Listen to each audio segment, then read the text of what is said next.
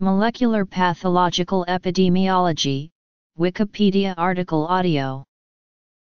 Molecular pathological epidemiology is a discipline combining epidemiology and pathology. It is defined as epidemiology of molecular pathology and heterogeneity of disease.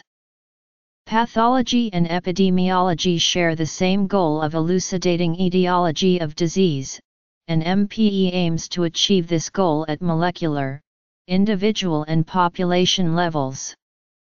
Typically, MPE utilizes tissue pathology resources and data within existing epidemiology studies. Molecular epidemiology broadly encompasses MPE and conventional type molecular epidemiology with the use of traditional disease designation systems. Disease process Methodology History Data from the Cancer Genome Atlas projects indicate that disease evolution is an inherently heterogeneous process.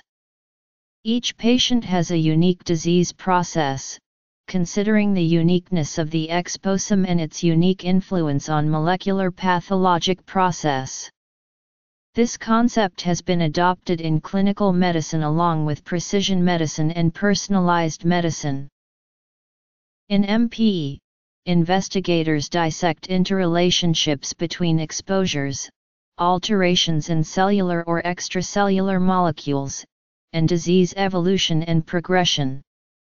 Investigators can analyze genome, methylome, epigenome, metabolome, transcriptome, proteome, microbiome, immunity, and interactome. A putative risk factor can be linked to specific molecular signatures.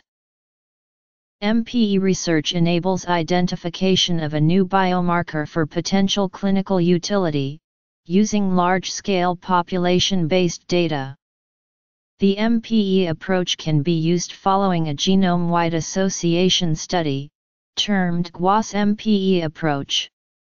Detailed disease endpoint phenotyping can be conducted by means of molecular pathology or surrogate histopathology or immunohistochemistry analysis of diseased tissues and cells within GWAS.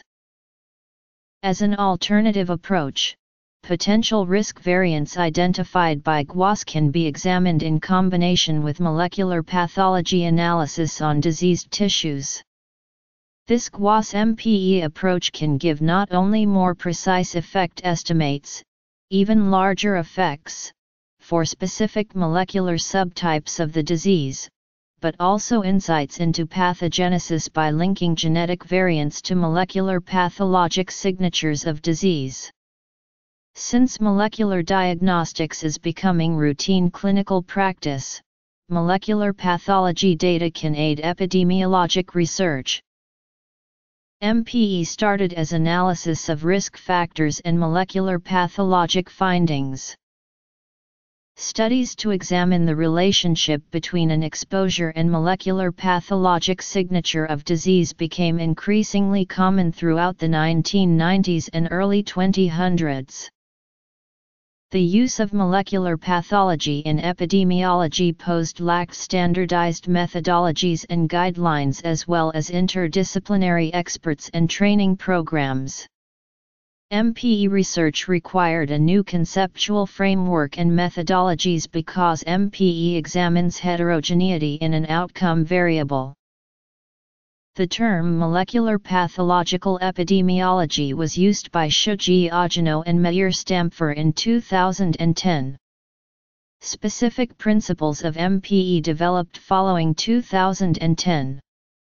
The MPE paradigm is in widespread use globally, and has been a subject in international conferences. The International Molecular Pathological Epidemiology Meeting Series has been open to research community around the world. Its second and third meetings were held in Boston, in December 2014 and May 2016, respectively.